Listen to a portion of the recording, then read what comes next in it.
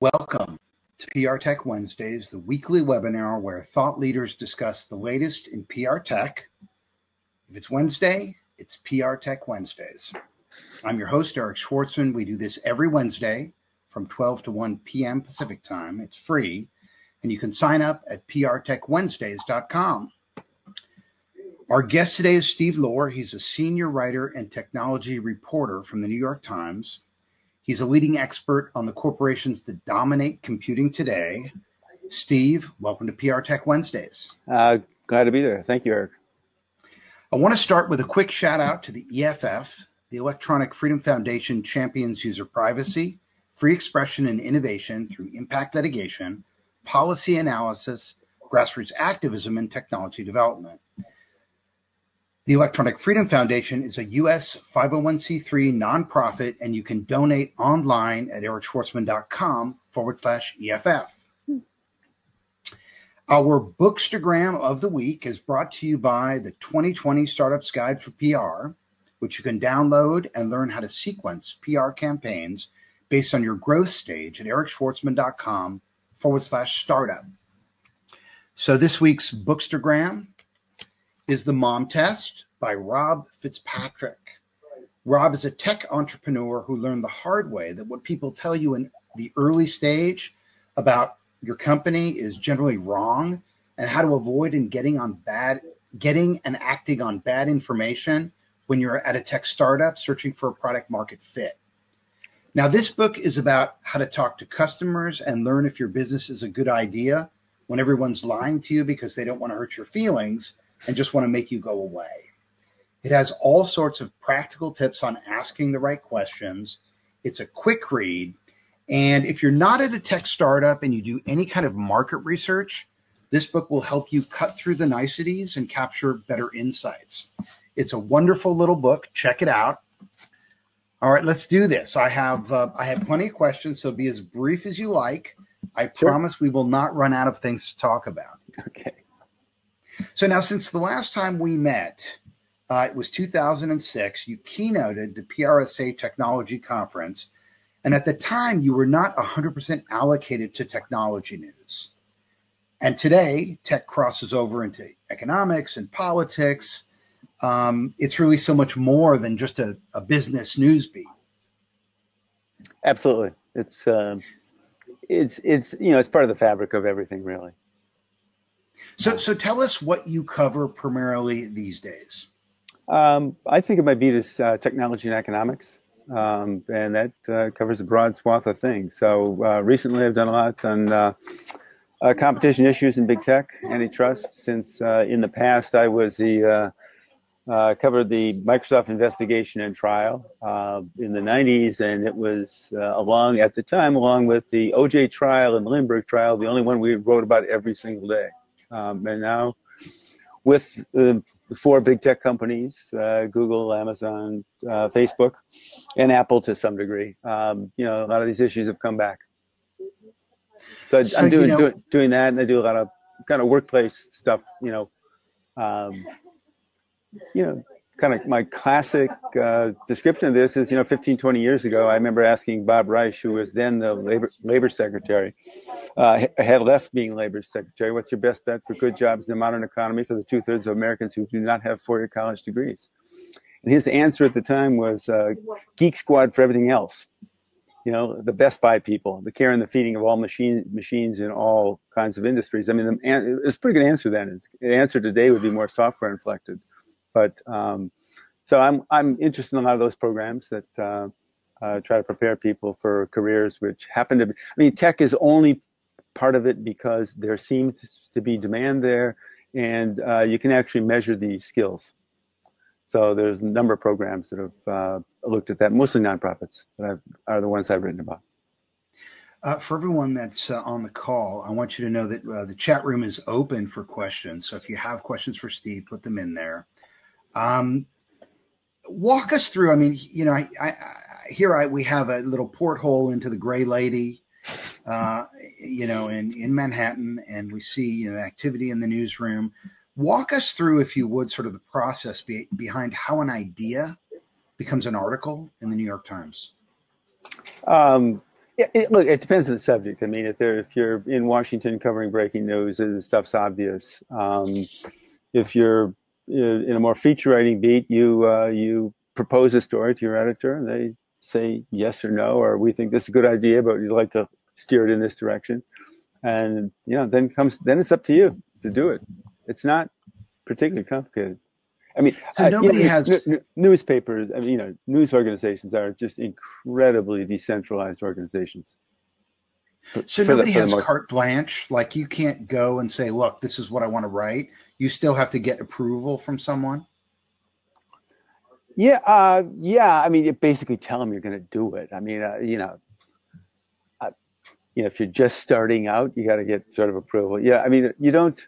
Um, I don't. I, there's not too many no's. Truth be known. Is there some sort of a meeting that you have, all everyone in your department, where you come together and the, the tech group has a meeting uh, Monday midday, uh, 1.30 our time, 10.30 San Francisco time, uh, and people talk about, you know, things that are coming up. Um, I mean, we also have a kind of list of stories that you're working on and so forth. So it isn't sure, it isn't, you know, everybody go around show and tell.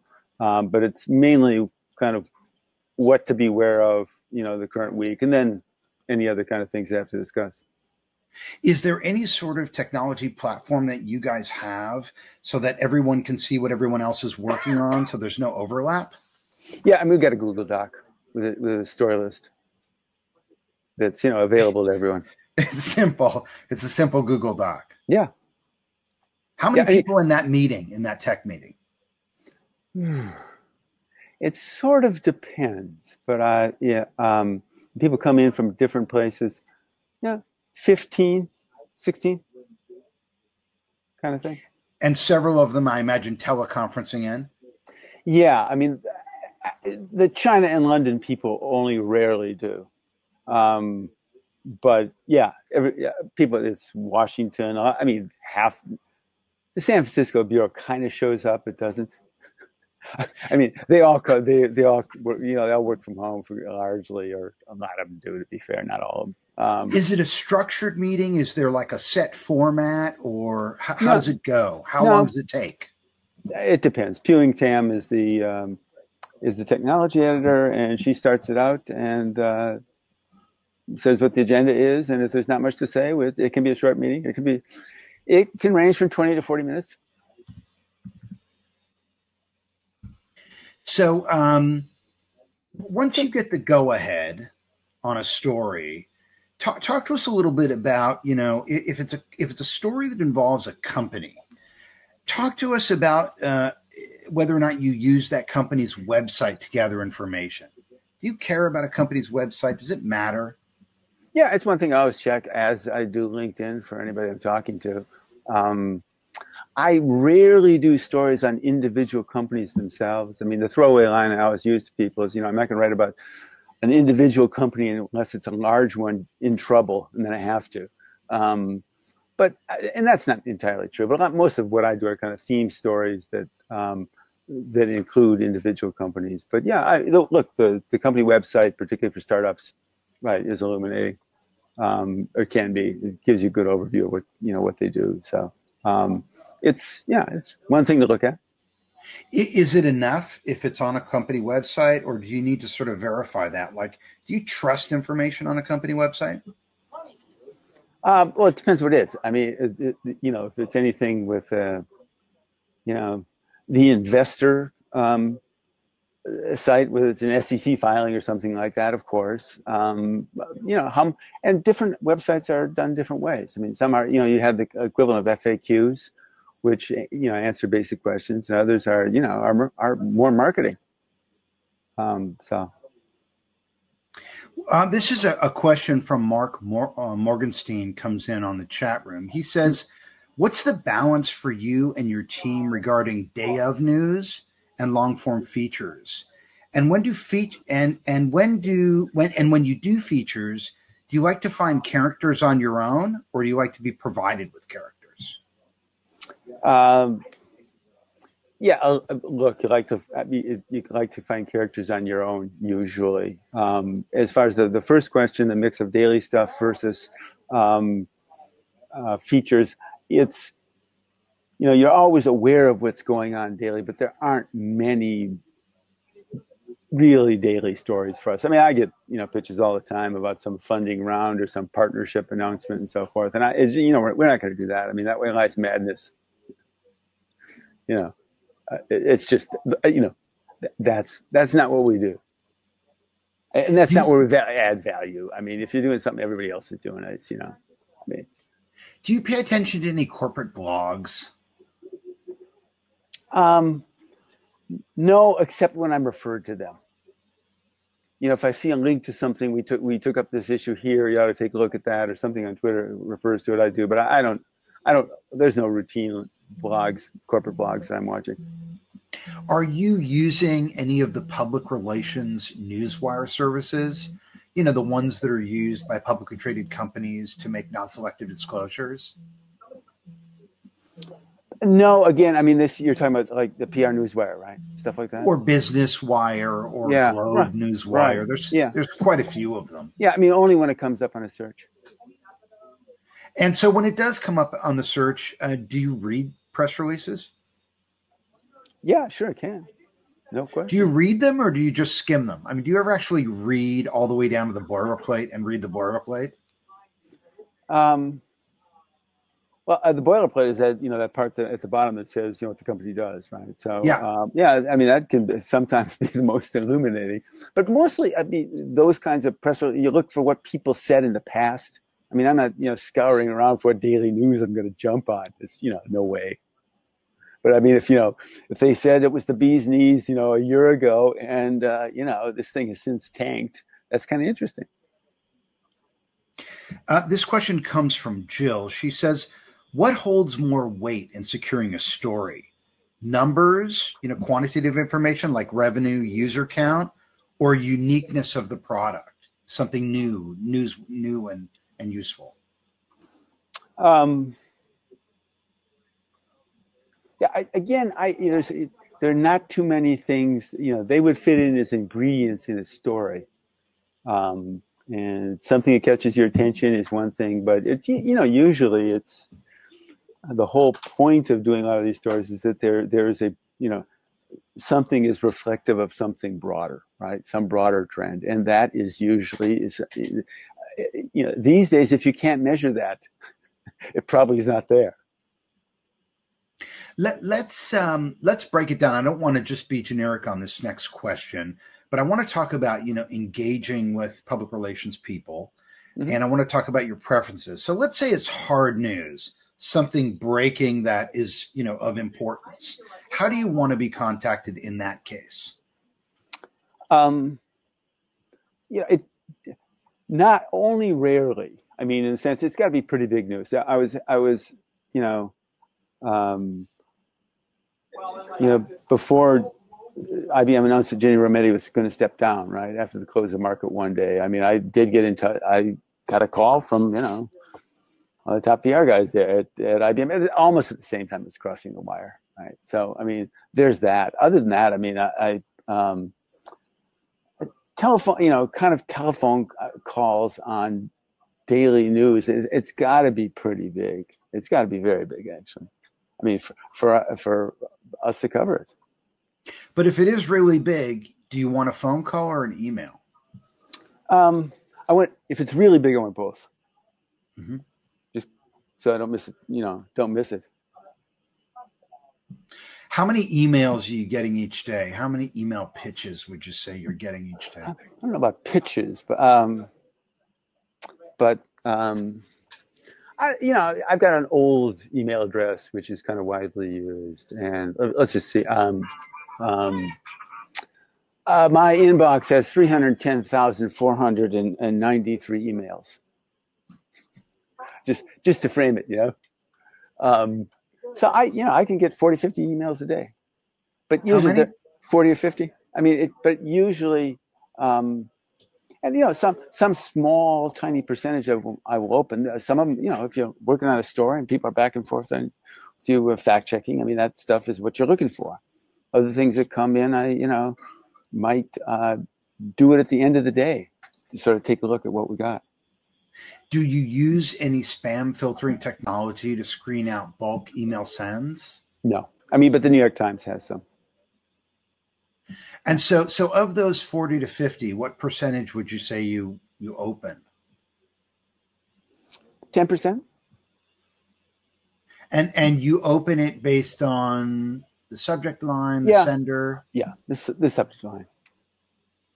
also the sender. I would imagine if it's of coming course, from yeah, yeah. If it's you know, I mean, it's you know, look, if it's somebody you know, I mean, I you you owe them the courtesy, right, to reply. I mean, I just you know, um, you know, thanks, but no thanks or whatever. But you know, so I and I look, it just uh, some of it's just arbitrary. Something comes in, if you can, you know, it's obviously not for me. It might be of interest to somebody else um, at the time. So I, you know, reply and pass on the email address of the uh, of the other reporter. And and what what makes a good subject line? Are there any trigger words? I mean, No, I mean it has to look. It has to sync with something I'm looking at or interested in, um, and so, um, but no, I mean, there's no dog whistle, right? That's gonna. Oh my god, I got to open that right. you know, Graydon Carter had those um, empty modifier words that are so famous that he everyone talks about.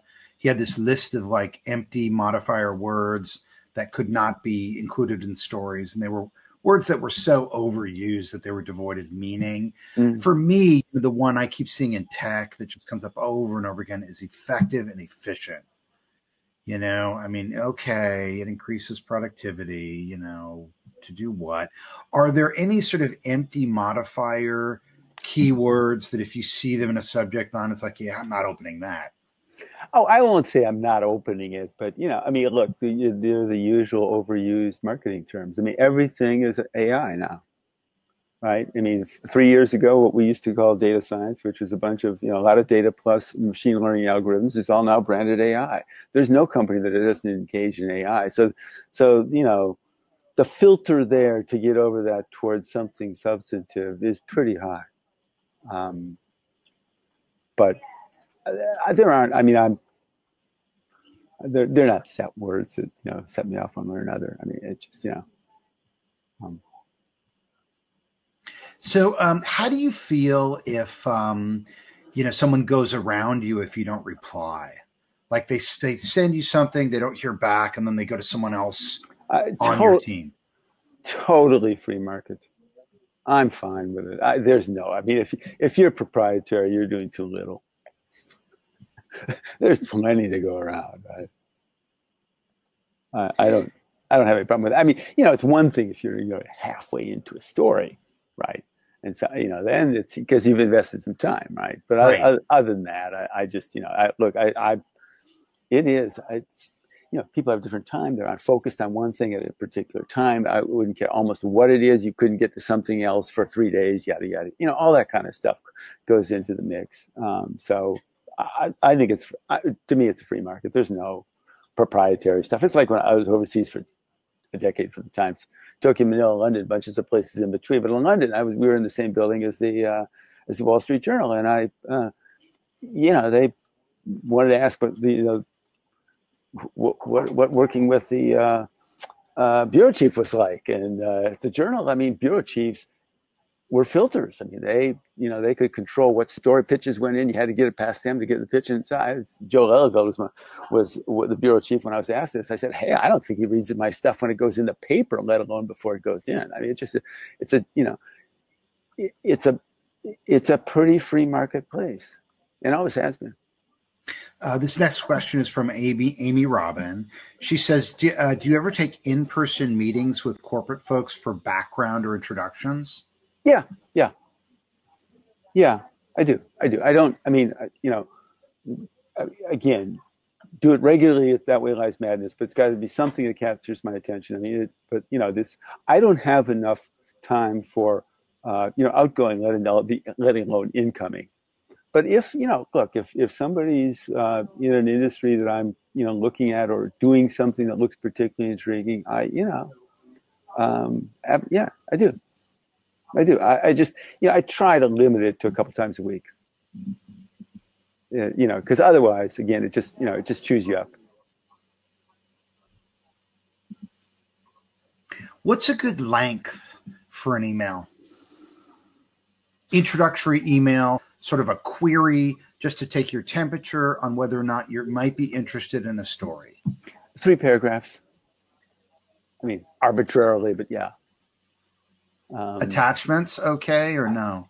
Yeah, uh, sure. I mean, it depends. I mean, but if it, if the first three paragraphs don't get you interested, the, the attachment is you know you aren't going to go to it. So you know who the who the person company is, you know what they're doing that's intriguing. Um, you know, it, it's you know it's it's the pitch. You know, it's the pitch on a on an idea the same way they talk about sort of you know the VC elevator pitch. You know, what's your idea? Who's on your team? Who's backing you? right? Um, that's you know to get attention for stores. It's you know it's somewhat uh, uh, individual companies. It's somewhat the same. This next question comes from Garrett. He says, "What are your pet peeves when reading story ideas pitch emails?"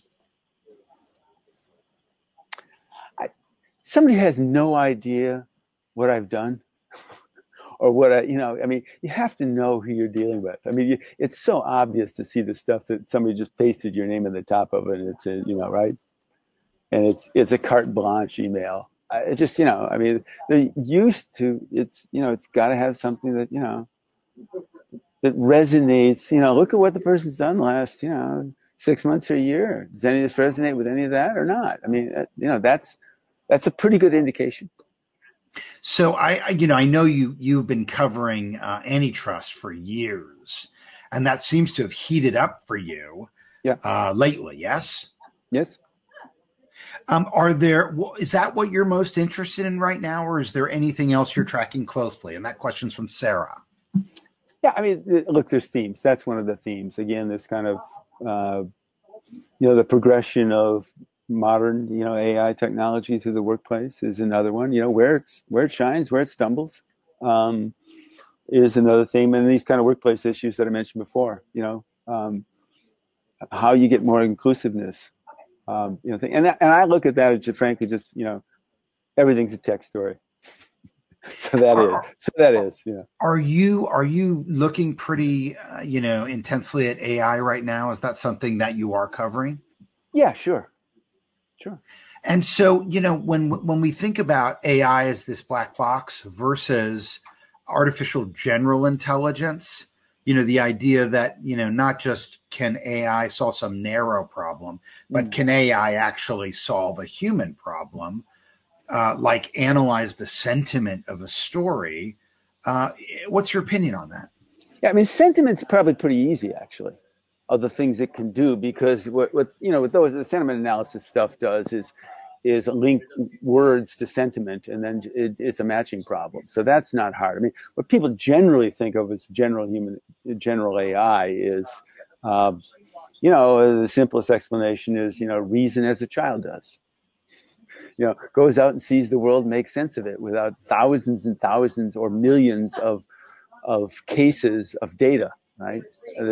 And that's that's um, you know you don't have to worry too much about that. It isn't going to happen anytime soon. There's a young guy who is in here who's an AI expert, and he was he's got a startup. And as he said about general AI, that's a very few people drinking large amounts of Kool Aid.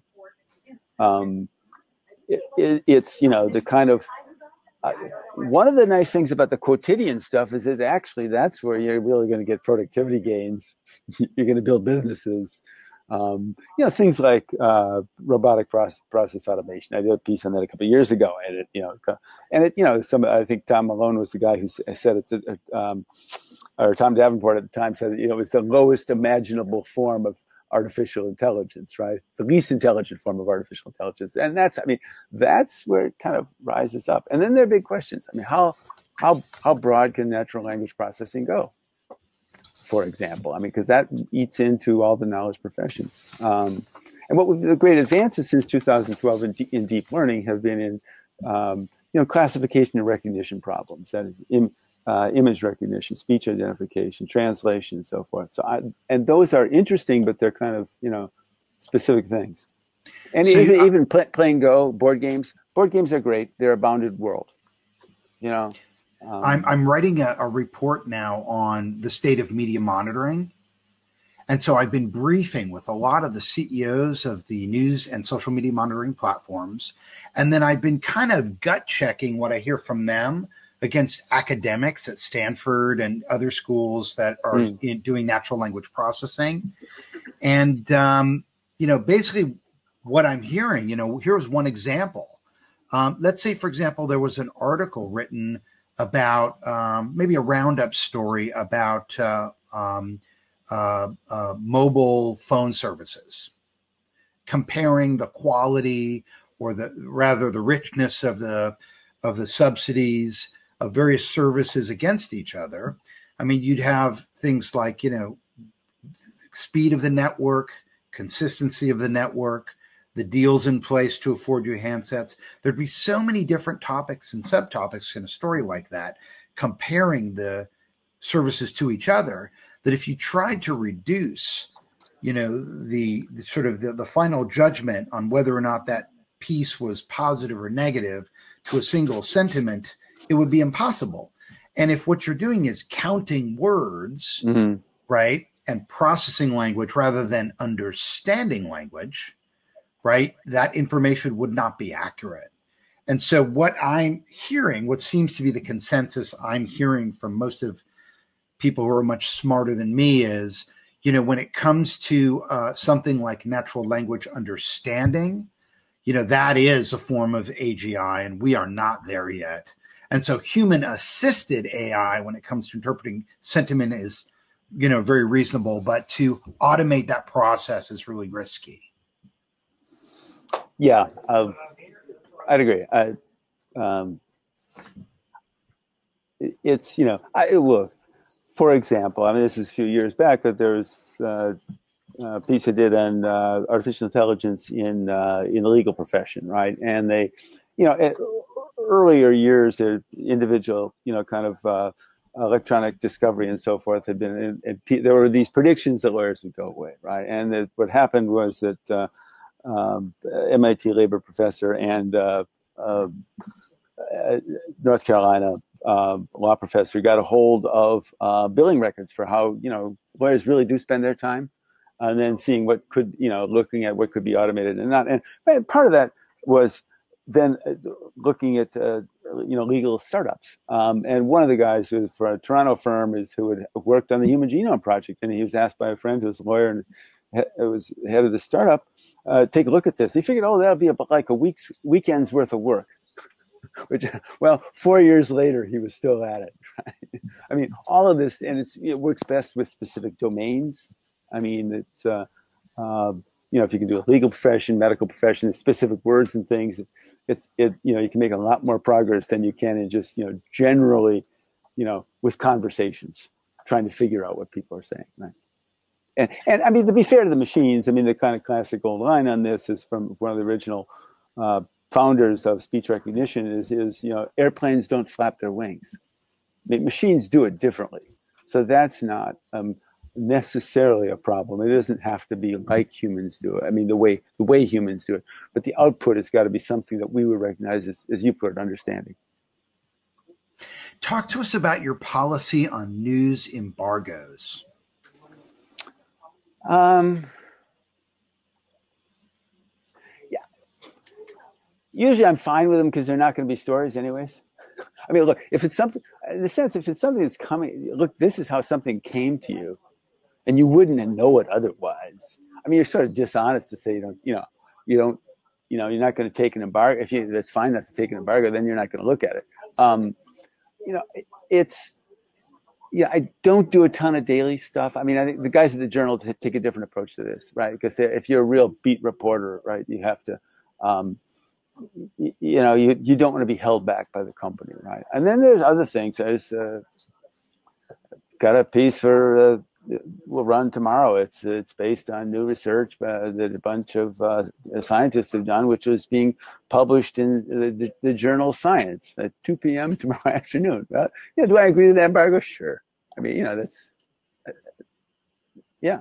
I, I think it's you know, it's a judgment call as to how interested you are, and and you know, it's one thing if you you know if you follow the company so closely, you kind of knew this was coming anyways. I mean, I think that's where a lot of really deep beat reporters work. Uh, but that's not, that's usually those things are so granular that they're hardly, you know, they're not stories for us. Well, so, let's say it really is a story. Like Microsoft has some serious new product and, you know, they want the story to come out when it's available, but they want the advanced time to brief you and you know they're briefing the journal and they're briefing business insider and whoever the other usual suspects are you know when you before you get into that type of a situation are there certain questions you're going to want answers to before you decide whether or not you're going to cover it what would the yeah. terms be i mean what i would have to do is get some indication that like product announcements i almost never cover i mean companies got to sell their own stuff that's well, let's say it's the Apple know, Watch or something well, of then, that magnitude. Then, yeah, sure. Then we do. I mean, Brian Chen does, I'm sure, right? You know, he's, you know, yeah, no, uh, that if it's a, if it's if it's open and shut, sure. I mean, and then there's the debate here. I mean, some of these Apple products we've actually, I think, I think the smartphone we actually fronted. you know, so they put on the front, which you know something. When I first joined the paper, it never would have happened. Taking a commercial product are you kidding me? Right? You know, it's you know, it's like an ad, right? Um, whereas you know, the, the argument is that the story is the story, and these are huge sociological phenomenon as well as everything else. So um, I'm still glad I don't have to do it. I mean, I can just remember being involved in so many embargoes that were such nail biters because we were so afraid that someone would go early and screw everyone else over. Is yeah. that not something you're concerned about in an embargo situation? Yeah, but eh, look, if you give somebody your word, uh, you know, I mean, that's that's it. I mean, the notion is sort of you're going to agree to embargo and then consciously break it. I mean, some of these embargoes move around a little. It actually bit. wasn't there, conscious. There, there, there can be case, there could be a mistake. There could be, you know, it can move around and then you kind of miss an email or something. I mean, that that yeah. you know that that'll happen now and again. But you know, I mean, of of the things you worry about in your career, embargo on a product announcement of the things you're going to think back and make, geez, I wish I would have done that. I don't think so. What, what about exclusives? Are you doing a, lot of exclusives? And if so, do you have a policy around that? Yeah, I mean, I, what's exclusive is my ideas. and that's what animates most of my stories.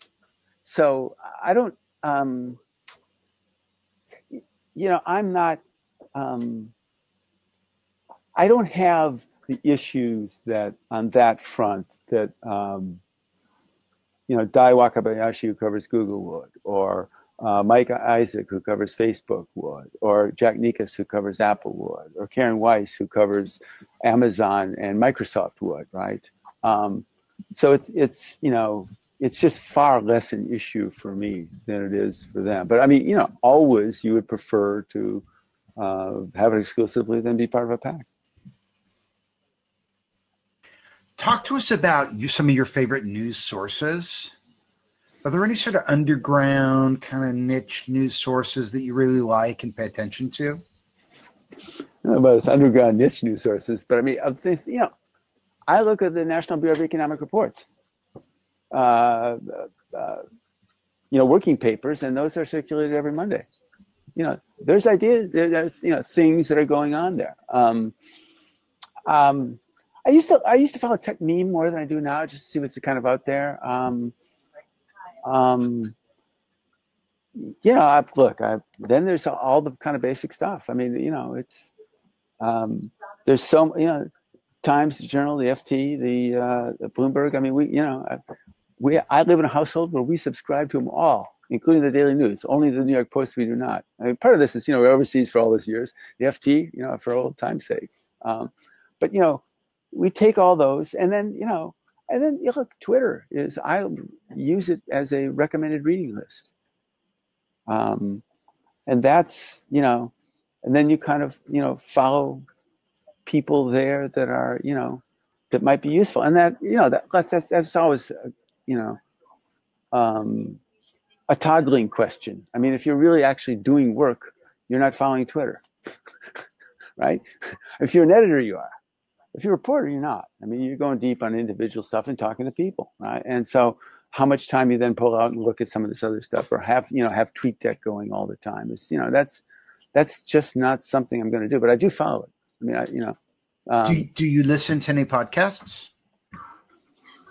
Yeah, but most. I mean, I I I catch the weekly or the daily at the end of the day, um, and and then there's just different ones. I mean, American History Tellers is run by a guy out of uh, is part of the marketing department of uh, um, Southern Methodist University. Does some really terrific stuff. I mean, these are you know history of the depression. History, these are in episodes. He gets experts to come in. Um, you know that, that, There are a few others. I Spy is one that uh, uh, Foreign Policy Magazine does on uh, international stuff. So I don't, you know, um, but I'm not, you know.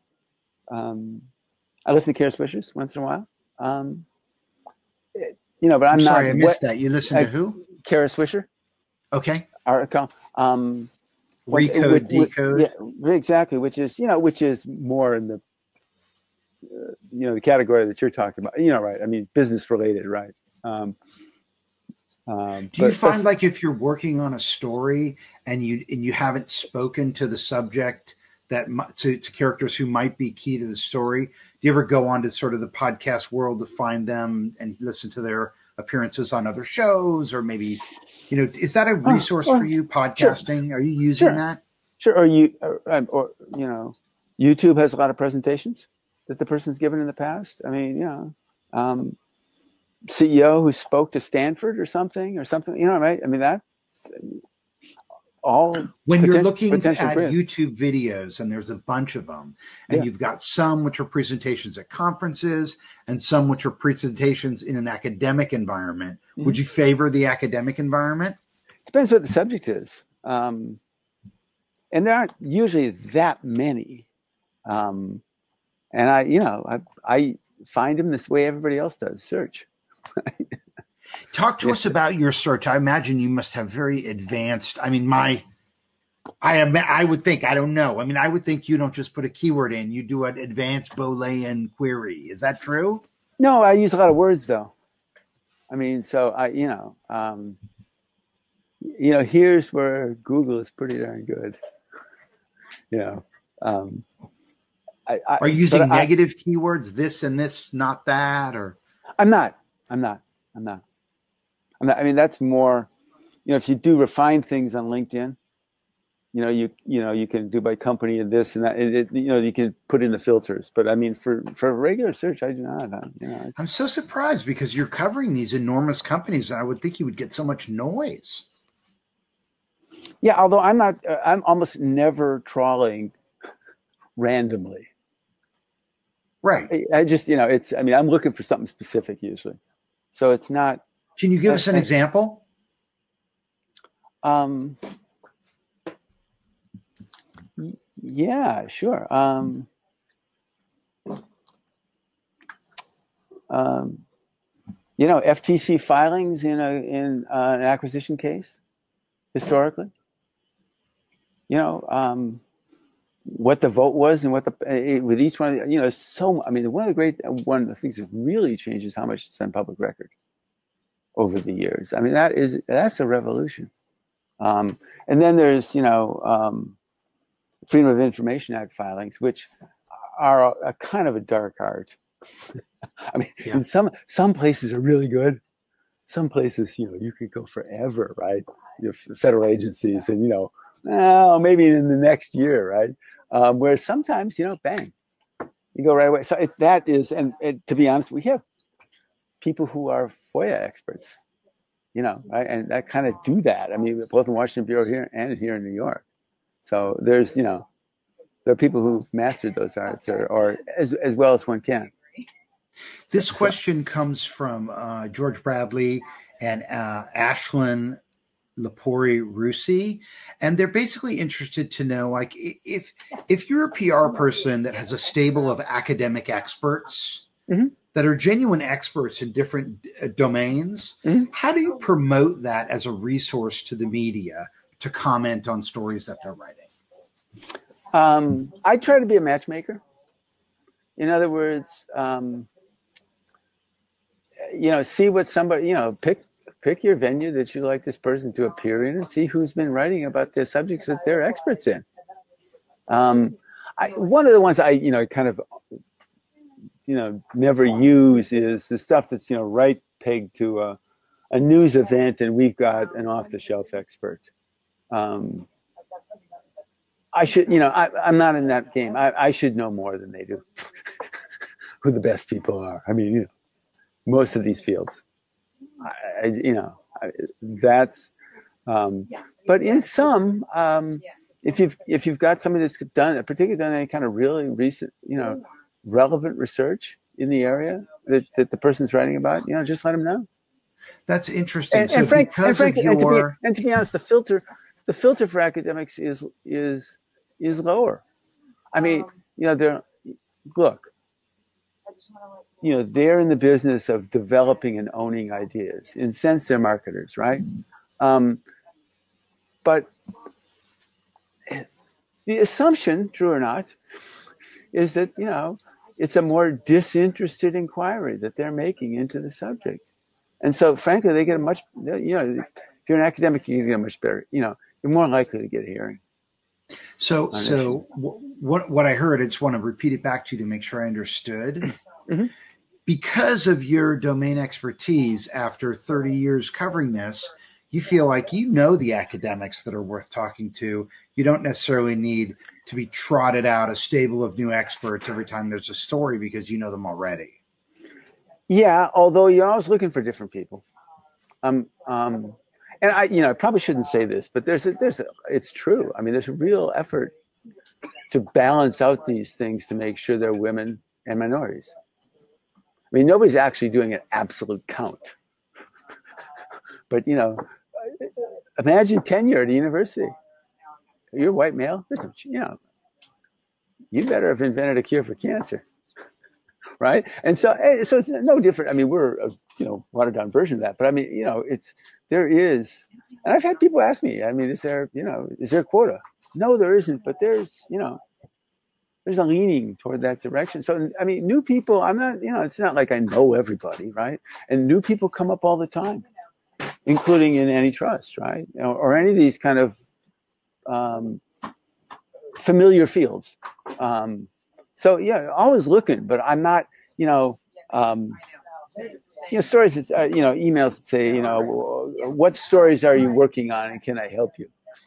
Aren't very helpful.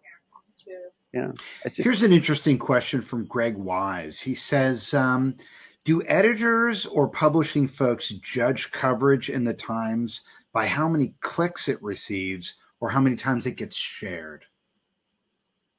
Yeah, everything's measured. Um, and that's a signal, but it's not, you know, um, it's it's you know you're guided by it you're not ruled by it i mean the sense that you know look we're gonna look we're gonna you know in the day i mean you know we have a kabul bureau right i mean the, the amount of people in rod Nordland uh, for example was there and you know i mean the number the resources spent on that are immense i mean are they you know uh, what percentage of clicks are you going to get? No, I mean, if we did it only by click, I mean, we do do a lot of opinion, we do a kind of smarter living stuff, and then any big news, right? I mean, that, that's just not. I mean, that's not what we're going to do. Um, so, yeah, you do it, but it, it, does it have an effect? Sure, it does. I mean, if if you do, look, but if you if you do a story and you sort of you know this is what I ought to do, right? it's just it's it's it's you know it's good subject. It's we ignored otherwise. Yada yada yada, and it gets you know twenty thousand page views, which is nothing for us, right? Um, you know, you say, am I going to do one of these again, right, next time around? Because they all take more time than you think, right? Um, so yeah, no, it has, it has, and we we measure everything. There's not. I mean, to to pretend that that's not a factor is is the case, but it's also it's not. Um, you know, I don't really know BuzzFeed, but in my my impression was in the day. I mean, you know, there was you know, it's kind of a Skinner rat following of you know what what attracted you know um, what attracted clicks right and and also what's really changed of course is that advertising is a false god i mean the, the view was at one time that you had to like we frankly we had a, a tech blog right for between like off the top bits. of my head. Two, two, yeah, bits two, blog but, remember but 2000 like 2011 to 2016 it ended in 16 right and you know how whatever you know you know, the justification was always this is a way you can kind of harvest new material, um, you know, things that are in your notebook and yada yada. And you know, the idea was that you know you're supposed to do it a couple times a week in addition to everything else, right? That was a PR person's dream, because then a product announcement, so, you know, you kind of get two other calls, right, or two or three other calls. You put in a short story, and you could write it in a looser tone, which is you know, sort of fun. But it, you know, a proper job took the better part of a day, right? And so you know, and they were set up. They were often pegged to some sort of announcement or something, right? And you tried to did your best to broaden them out, but basically, this was, you know, the people you who were involved in this, who were part of the announcement, were you know the amen chorus for the product, right? Um, and part of the the big the rationale was that we needed to create more content to sell ads against, right? And what happened, of course, is everybody learned that, oh, by the way, you know, I mean, ad, online advertising is a great business if your name is Google or, or Facebook and now to some degree Amazon. But everybody who's making it is a subscription business now in publishing. It's us, it's the Journal, it's the Washington Post, it's, you know, it's the FT, right? I mean, the Economist. I mean, I see the things I, I subscribe to and how, you know, the New York Times never gave it away. The printed it. It was never, you know, it was never cheap, cheap, which is always which was always good, right? Whereas you know the journal, I used to get it for like ninety dollars a year, and then they had to, you know had this big hunt to find out who, because so much of it was through companies. This big hunt to find out where to send things on the weekend because you know they they didn't, you know, right? They were, you know, they were corporate subscriptions.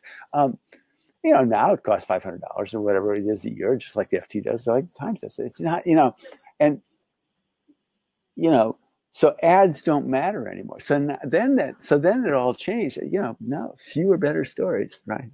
And yes, is there a journalistic rationale? Sure, there is. But you know, the business context changed a lot um, of of what we do, and and you know, and now, you know, we also mentioned shares and engagement and so forth are all you know kind of part of the mix. But so and some some things are much more you know if, if you're writing for if you're in the cooking product or the crossword puzzle or some of these specialized things right which are pure service journalism or entertainment depending on your point of view right um, those things are you know um, the, the volume of viewership and the length of it and so forth is you know is hugely important. Whereas i mean if you know if you're if you're doing a you know we've hit privacy very hard for example. Um, at the times a lot of people on it including on the the you know the editorial side the op-ed page stuff. Um, you know it was an institutional commitment to, to do that. And um, if some of these stories don't get a lot of coverage that's fine. You know a lot of you know, we're going to keep covering and keep covering and be on it, so that when things do get big, you're you you know you're there, um, and it's considered an important subject. So, um, in his book AI Superpowers, former Google president Kai-Fu Lee argues China's disregard for personal privacy and intellectual property right rights and a general nonchalance for personal privacy among Chinese consumers puts China in a stronger position to lead on AI um, because there's no data like more data uh, in a machine learning world, and um, there are fewer data collection restrictions over there. Do you think AI is going to uh, that China is going to lead on AI? Um, in certain areas, it might. Um, and then, then there's the question of how much it can export it You know, this is Belt and Road and stuff, right? I mean, other you know, extend to other places, and we've done stories on that, including you know Latin America, not just Asia. Um, but I, yeah, I, I would argue there's diminishing returns to data. That you know, and there's a whole debate in the AI world as to you know uh, the limits to the uh, the absolute brute force, uh, you know, data approach. Um, it only gets you so far. Um, so I look. I, the, the, only honest answer is it remains to be seen, right? um, but and then there's you know this whole kind of you know whether it's true or not. Um, I think China's much better positioned, for example, to do these things than Japan. We feared Japan was in the '80s, and I was over there in the early '80s. Right, this is just after Ezra Vogel at Harvard had written Japan is number one, and this is uh, you know, there was concern about Americans being reduced to sweeping up around the uh, the supercomputers and flipping burgers at McDonald's. Right, that was Mondale's famous line. Um, my sense, I mean, I don't, I don't know China as well as uh, as well as I kind of knew Japan.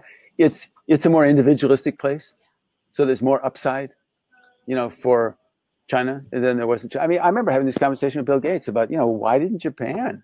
I mean, you know, highly literate, uh, STEM education, terrific. Why did they develop, you know, software business?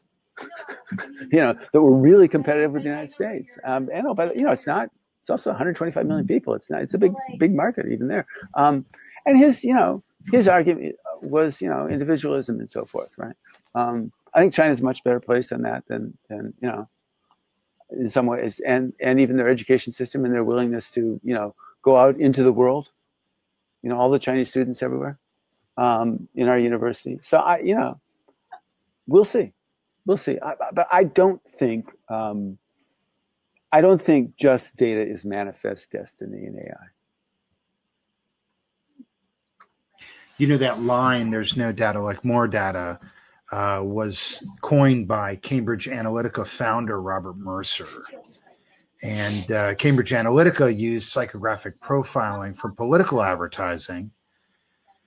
And so, obviously, the more data they have, the better they can target those ads. Uh, any thoughts on how psychographic profiling will show up in the up, in the upcoming presidential election? Yeah, again, I mean, we have people who you know who that's their full time beat here. So um, I, I, assume more of the same. I'm personally unconvinced that um, it does more than magnify what's already there. I mean, I'm, I'm you know, I'm, you know, I am reluctant to believe that people are skinner rats. you know, only responding to the stimuli they have. You know, I, I um, but uh, that said, I mean, let's face it. A lot of this has, you know, this is deterring some people from going to the polls, encouraging others, revving up the base, and so forth. And, and everything we've read suggests that, you know, um, you know, the current administration was extremely good at it. Um, and others are kind of trying it as well. So I, you know, I, I one would think, wouldn't they, that the more of this fake stuff's around, the, the higher your filter is. Um, but you know, we'll see. Steve, thanks for taking the time to do this. You've always been so generous. Thanks, I want to do a, a, final shout out to EFF, the Electronic Freedom Foundation. Protecting your personal privacy online. More information at ericschwartzman.com forward slash EFF. I want to thank our gold sponsors, Flux Branding, a world renowned resource for defining your visual brand. Flux Branding is a group of creative visionaries and graphic designers dedicated to helping clients conceptualize and realize their brands online at fluxbranding.com, and Digital Dragon, where children can develop the skills they need to prosper in the age of machines. Digital Dragon teaches digital literacy to tomorrow's programmers and technology entrepreneurs. More information at digitaldragon.com. Um, I want to invite you all to join us next week for a discussion beyond the news beat and conducting accurate, timely journalist research so you can deliver your news to the right reporters with Muck Rack CEO Greg Galant. Uh, as I mentioned earlier, I'm currently completing an extensive report on the state of news media and social media monitoring platforms. If you'd like a free copy, you can sign up at um, for my PR Tech Secrets email newsletter at ericschwartzman.com forward slash blog. And that'll cover using AI to monitor for relevancy and sentiment, monitoring articles behind paywalls, advanced Boolean filtering, monitoring for business impact, PR attribution, and more. And you can get that. Uh, again, sign up for a copy at ericschwartzman.com forward slash blog. Um, if you're not watching this live, you can go to prtechwednesdays.com and register to attend these free weekly PR Tech briefings every Wednesday. And if you're watching on YouTube, please like and uh, subscribe to the channel. This has been Eric Schwartzman. Um, thank you so much, Steve. Thank you. Um, we'll see you next Wednesday. Thanks. Bye bye.